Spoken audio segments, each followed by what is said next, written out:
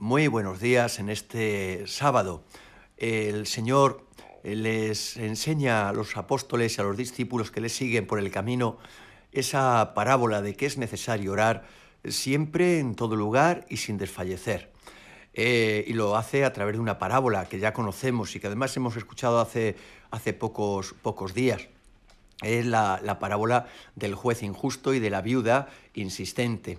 Esa viuda que, que implora del juez injusto la, verdadera justicia y que el juez hace justicia ya porque está cansado de la impertinencia y de la perseverancia de, la pobre viuda. Pues el Señor hoy nos enseña eso, tenemos que estar continuamente orando, orando una oración eh, que en el cristiano tiene que brotar, tiene que brotar de la fe, de la fe en el Señor, de saber que el Señor va a hacer esa justicia, porque Él sí, Él sí es justo.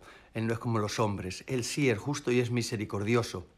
Y esa oración que brota de la fe y esa, esa fe que hace que nuestra vida se convierta en una oración. Necesitamos eh, la oración desde, desde la palabra, desde el pan de la Eucaristía, desde la misma vida mm, diaria, cotidiana, de cada uno de los acontecimientos, pero necesitamos orar eh, siempre y sin desfallecer, ser perseverantes. Lo único que hay una pregunta inquietante en el, en el Evangelio de hoy. Cuando lo leáis, eh, meditarla, porque decía, y cuando venga el Hijo del Hombre, ¿encontrará esta fe en la tierra?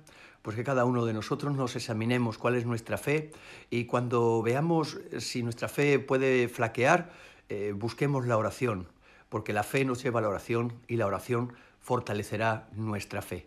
Buen día en el Señor.